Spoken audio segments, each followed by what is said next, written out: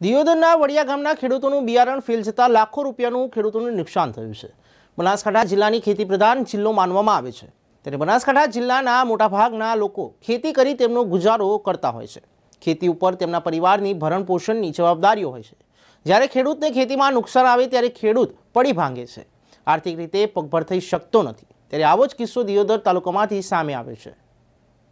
વડિયા ગામે હું ખેતી કરું, મારા નામ હેમાજી મોટાજી માળી અને અમે બિયાન લાવ્યો તો ડીસાથી ધીરેન્દ્ર સુરેશભાઈ મારી પાસેથી.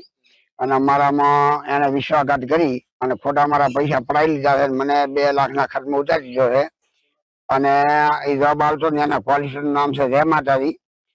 અને એના કંઈ બિયાન લાવીને મારા દગો કરી છેતરપટ્ટી કરીને મારા કંઈ એક લાખ રૂપિયા રોકડા પડાવી લીધા બટાકાના. આઠસો રૂપિયાના ભાવના એને કટું બિયાણ આપેલું છે. એકસો પચીસ કટા લાવેલા છે.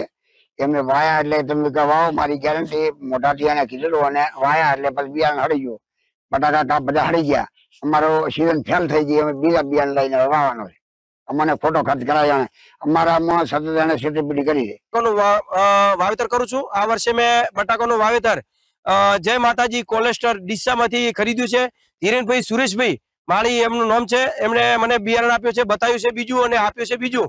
તો મેં અહીંયા લાવીને ખેડૂતો ખેતરની અંદર વાવેતર કર્યું છે. તો મારે મોટું નુકસાન થયું છે. કાપા બધા ખેતરની અંદર હળી ગયા છે. તો એને વારંવાર મેં ફોન કર્યા છે. એ કોઈ જવાબ આપતો નથી અને મને બિલ આપ્યું નથી. તો વધારે વધારે મને એવું કે મને કોલેસ્ટ્રોલ વાળા મને ન્યાય અપાવે. અને મેં અમને ફોન કર્યા છે. છતાં જવાબ આપતો નથી. તો એમને પ્રોસેસ કરે અને નહીં થાય તો હું પોલીસની કાર્યવાહી હું કરીશ. માળી પ્રકાશભાઈ હેમાભાઈ વડિયા, હું ખેડૂત છું. અમે ડીસાથી એકસો પચીસ કટાનું બટાકાનું બિયારણ લાવેલું હતું. જે પાર્ટી વેપારી છે તેમનું જય માતાજી સ્ટોર ધીરેનભાઈ સુરેશભાઈ માળી એમની પાસેથી આ બિયારણ લાવ્યું હતું અને વાવ્યા પછી આ બધું બિયારણ જમીનની અંદર હળી ગયું. અમારે બીજી વખત વાવવાનો વારો આવ્યો છે અને ધીરેનભાઈને કેટલી વાર ફોન કર્યા છે પણ કોઈ સરખી રીતે જવાબ આપતા નથી. અમારે આ લાખો રૂપિયાનું નુકસાન થયું છે અને અમે દસથી પંદર વાર ધીરેનભાઈને ફોન કર્યા છે પણ એ ઉલટા સુલટા જવાબ આપે છે. એ જવાબ સરખી રીતે આપતા નથી. અને અમારે આ લાખો રૂપિયાનું નુકસાન ખેડૂતને સેના ઉપરથી કાઢવું?